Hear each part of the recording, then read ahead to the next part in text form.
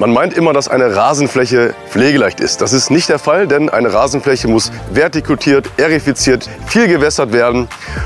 Und das macht tatsächlich viel Arbeit. Eine Staudenfläche dagegen sieht nicht nur gut aus, sondern sie wächst auch dicht zusammen. Das heißt, da muss man weniger Unkraut zupfen. Diese Flächen, die locken Insekten im Garten an und bereiten einfach mehr Freude. Hier ein sehr schönes Beispiel für einen Schattengarten. Und zwar habe ich hier die Lilientraube und die Elfenblume gepflanzt.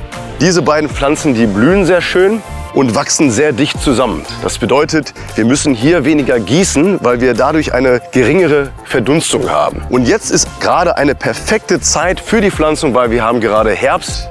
Die Pflanzen, die fangen jetzt noch mal an, etwas Wurzeln auszubilden, wachsen an, ziehen sich dann über den Winter zurück und können dann im Frühjahr wieder richtig schön austreiben. Weitere hilfreiche How-Tos rund um das Thema Garten findest du bei den Kollegen von der Machbar Thank you.